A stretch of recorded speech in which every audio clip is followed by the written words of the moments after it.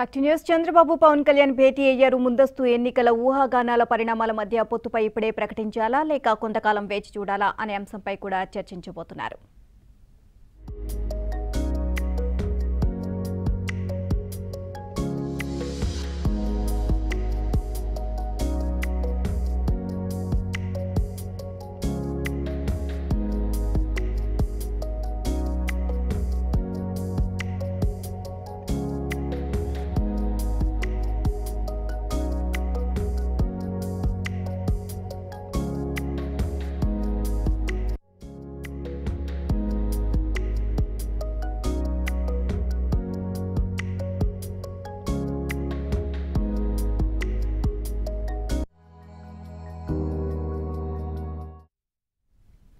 నిజానికి వచ్చే ఎన్నికల్లో కలిసి పోటీ చేయాలని కొంతకాలంగా రెండు పార్టీల దిగో శ్రేణి కార్యకర్తలు కోరుకుంటున్నారు. ప్రస్తుత పరిణామాలతో చంద్రబాబు పవన్ కళ్యాణ్ భేటీ ప్రాధాన్యత సంతరించుకుంది.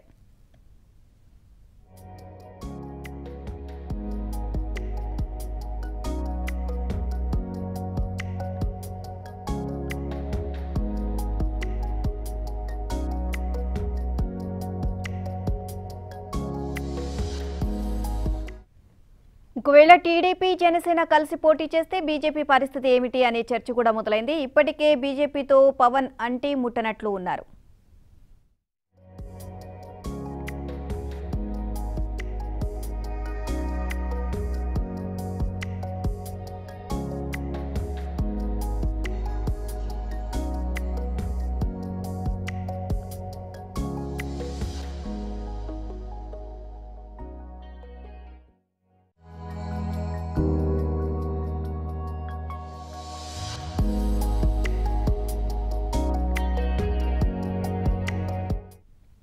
ఏపీలో వైసీపీ అనుసరిస్తున్న అరాచక విధానాలపై ఇద్దరు చర్చిస్తున్నారు. ఇటీవలి కాలంలో విపక్ష నేతలపై పెడుతున్న కేసులు వారిపై వైసీపీ చేస్తున్న దాడుల గురించి మాట్లాడనున్నారు.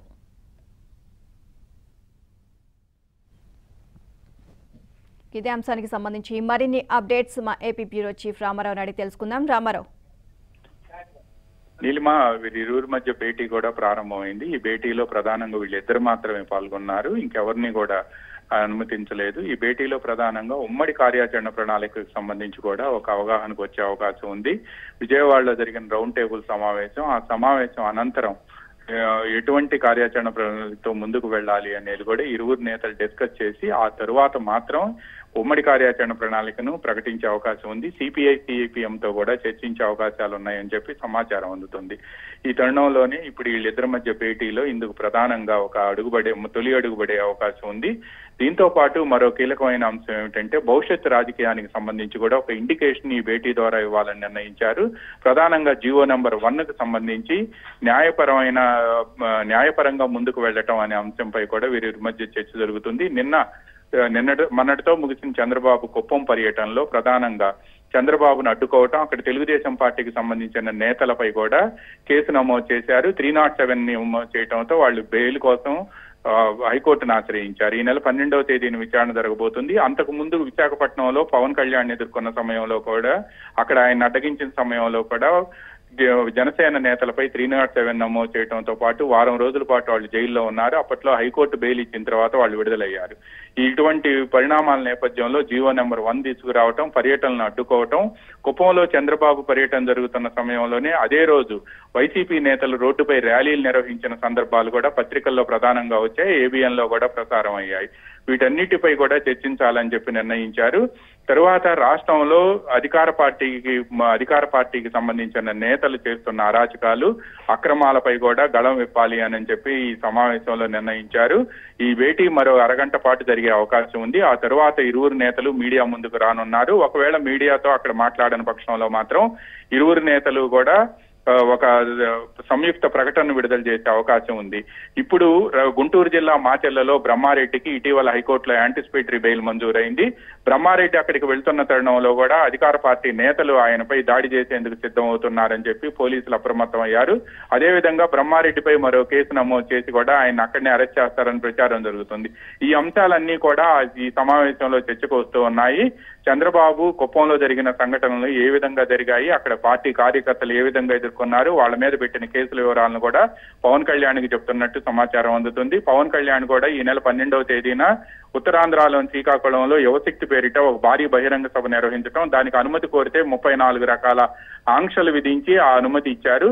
వీటన్నిటి నేపథ్యంలోనే ఆయన కూడా దానికి సంబంధించిన అంశాలను చెప్తున్నారు. అదేవిధంగా బాలకృష్ణ ఒంగోలులో వీరసింహారెడ్డి సినిమా ప్రీ రిలీజ్ ఫంక్షన్కి సంబంధించి అనుమతి ఇవ్వకుండా తిప్పటం.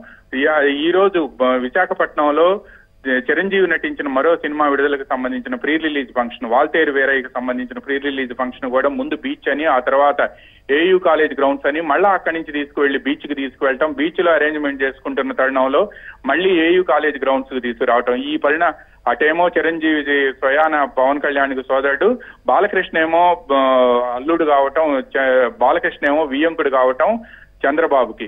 ఈ ఇటువంటి కావాలని ఇవన్నీ ఇబ్బంది పెడుతున్నారు అని కూడా విస్తృతంగా ప్రచారం జరుగుతుంది. అందువలన ఇక ఉపేక్షిస్తే కుదరదు అని అని చెప్పి ఈ విజయవాడలో జరిగిన రౌండ్ టేబుల్ సమావేశంలో అచ్చెన్నాయుడు ఆధ్వర్యంలో జరిగిన రౌండ్ టేబుల్ సమావేశంలో వైసీపీ బీజేపీ మినహా మిగతా పక్షాలన్నీ కూడా TDP CPI CPM Janasena Congress ప్రజా సంఘాలన్నీ కూడా హాజరయ్యాయి. అక్కడే ఒక ఉమ్మడి కార్య ప్రజాస్వామ్య పరిరక్షణ వేదిక పేరుతో అందరూ కలిసి ముందుకు వెళ్ళాలి.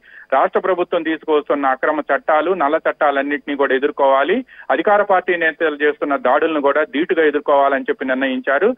దానికి తొలి అడుగు ఈ రోజు వీళ్ళిద్దరి సమావేశంలో జరగబో ప్ర- ప్రధానంగా తొలి అడుగు పడనుంది. అయితే చంద్రబాబు గాని పవన్ కళ్యాణ్ గాని వీళ్ళిద్దరూ కూడా భవిష్యత్ రాజకీయానికి సంబంధించి భవిష్యత్తులో పొత్తులు ఎలా ఉండాలి ముందస్తు ఎన్నికలు వెళ్తే అవగాహన ఎలా ఉండాలి పార్టీ నేతల మధ్య కన్ఫ్యూజన్ లేకుండా ఈ ముందే వాళ్ళందరినీ మానసికంగా సిద్ధం చేసి జనసేన ఎక్కడి నుంచి పోటీ చేయబోతుంది తెలుగుదేశం ఆ స్థానాల్లో ఉన్న ఇప్పటికే ఉన్న నేతలు ఎవరు? ఫర్ ఎగ్జాంపుల్ పశ్చిమ గోదావరి జిల్లాలో పాలకొల్లు ఉంది. గతంలో పవన్ పవన్ కళ్యాణ్ పోటీ చేశారు. కానీ తెలుగుదేశం పార్టీకి పాలకొల్లులో బలమైన నేత ఉన్నారు. అక్కడ నిమ్మల రామానాయుడు ఉన్నారు. నిమ్మల రామానాయుడు తెలుగుదేశం లెజిస్లేచర్ పార్టీ ఉపనేత. అటువంటి బలమైన నేతలు ఉన్న దగ్గర ఏం చేయాలి? అదేవిధంగా ఒకవేళ రాష్ట్ర వ్యాప్తంగా పోటీ చేస్తే ముఖ్యంగా తూర్పు పశ్చిమ గోదావరి జిల్లాల్లో ఎటువంటి వ్యూహంతో ముందుకు వెళ్ళాలి అనే అంశాలకు సంబంధించి కూడా ప్రధానంగా చర్చ జరుగుతుంది. వీటిపై కూడా ఇప్పుడు బయటకు ప్రకటించకపోయినప్పటికీ మాత్రం దానికి సంబంధించిన ఒక ఇండికేషన్ మాత్రం ఈ సమావేశం ద్వారా బయటకు వచ్చే అవకాశాలు స్పష్టంగా కనిపిస్తున్నాయి. అటువంటి ఇండికేషన్ వస్తేనే రెండు పార్టీల కార్యకర్తలు సెకండ్ లైన్ ఆఫ్ లీడర్షిప్లో కూడా మోరల్గా పెరుగుతుంది మోరల్ బూస్టప్ పెరుగుతుంది అని చెప్తున్నారు. దీంతో పాటు జియో నంబర్ వన్ ఏమిటి? ఈ జియో నంబర్ వన్ ద్వారా ర్యాలీలు రోడ్ షోలు పబ్లిక్ మీటింగ్స్ ఏ విధంగా ఎదుర్కోబోతున్నారు అనేది కూడా ప్రజల్లో అవగాహన కల్పించేందుకు విస్తృతంగా రెండు పార్టీలు అందరూ కూడా ఒక సంయుక్త కార్యాచరణతో ముందుకు వెళ్ళాలి అని చెప్పి కూడా భావిస్తున్నారు.